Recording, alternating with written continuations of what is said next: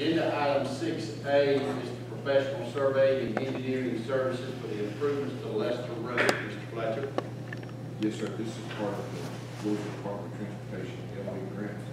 This is for, uh, engineering and surveying services for Lester Road.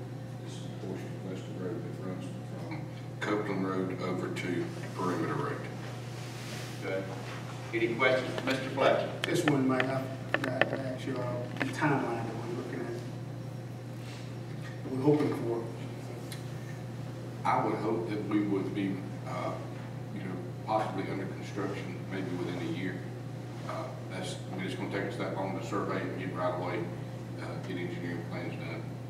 Uh, We'll have to acquire right away on this, so I would hope that we would be ready to go in a year. Okay, thanks. Any other questions?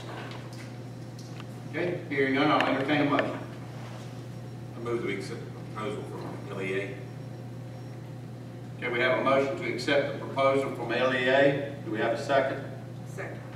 We have a second. Any discussion? Hearing none, I'll call the vote. All in favor signify by aye. Aye. Any opposed, like sign. Hearing none, the motion carries.